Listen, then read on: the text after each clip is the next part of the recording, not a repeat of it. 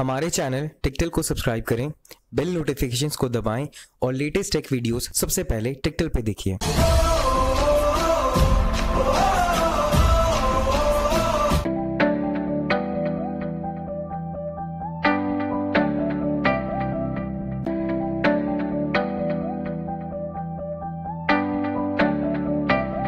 तो आपको क्या करना है? अपने थंकेबल पे आपको इंस्टॉल कर लेना है कि आपको अपलोड कर लेना है।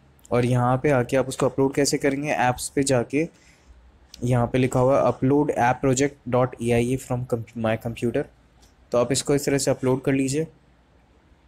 फिर वहाँ डिस्क्रिप्शन में आ जाएगा। उसके बाद में आपको क्या करना है कि यहाँ पे आपको जो एडमॉब लिखा हुआ है, यहाँ पे जैसे ये ऐप आईडी मेरे हैं तो आपको अपने ऐप आईडी से इनको रिप्लेस कर देना है। जब आप ये कर लेंगे तो आपको दोबारा से यहाँ ऐप्स पे जाना है और यहाँ पे सेव ऐप कर देना है। सेव ऐप आप कर लेंगे तो उसके बाद में यहाँ पे से पीछे जाके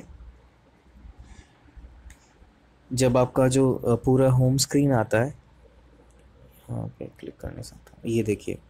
तो यहाँ पे जो ये डाउनलोड का ऑप्शन बना हुआ है, ये सब करने के बाद में सेव करने के बाद में, इस पर क्लिक कर दीजिएगा और आपका जो ए फ़ाइल वो डाउनलोड हो जाएगा।